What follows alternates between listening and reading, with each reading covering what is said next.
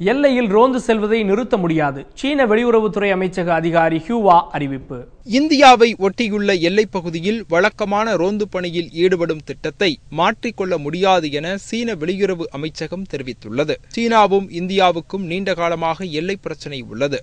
கடந்த ஏப்ரல் இருபதாம் தேதி ஜம்மு காஷ்மீர் மாநிலத்தின் லே பகுதியில் நுழைந்த சீன ராணுவ வீரர்கள் இருபத்தோரு நாட்கள் அங்கேயே முகாமிட்டு எல்லையில் பதற்றத்தை ஏற்படுத்தினர்.